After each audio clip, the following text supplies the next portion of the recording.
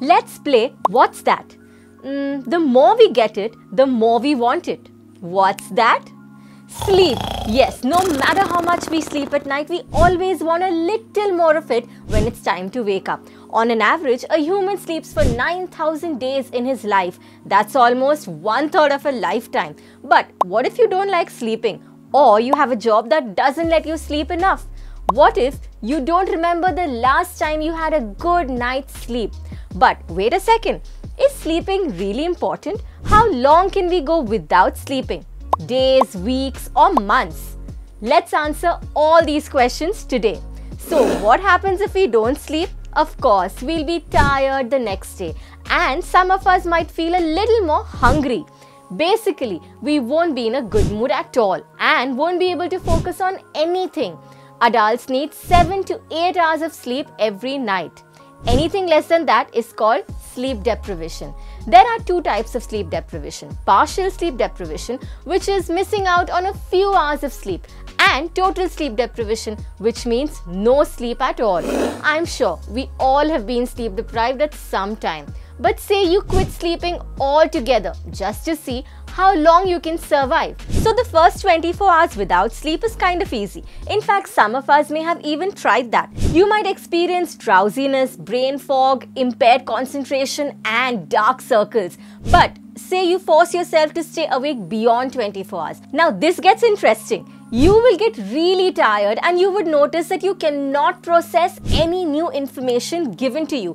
In fact, you even start forgetting what you already know. This is slightly like memory loss. You would not be able to take any important decisions and a very shocking symptom is cravings. You might crave a lot of sweets and junk food. That's because your body needs energy. By the end of day 2, your brain is begging you to sleep you will probably face anxiety and restlessness and you may also start hallucinating. Did you know in 2014 a dedicated soccer fan died after staying awake for 48 hours to watch the World Cup? So, they say he died due to a stroke. But the shocking thing here is that getting less than 6 hours of sleep every night increases your chances of getting a stroke. Okay, so coming back, say somehow you were able to face day 2 without sleep. But if you keep going on and on, you will be highly delusional and face complex hallucinations. You will start imagining things that don't even exist at all. On day 3, your urge to sleep will be impossible to fight. This is when you will also start taking micro naps, that is, sleeping for 30 seconds or less. But the scary part is you won't even know that you are sleeping. Time for a fact check. In 1963, a teenager broke the world record of sleep deprivation and stayed awake without any sleep for 11 days. Of course, later he slept a lot to recover from extreme physical and mental fatigue. Being sleep deprived regularly can cause obesity, hypertension, diabetes, and depression. Your sleep is very important, so please don't miss on it for anything.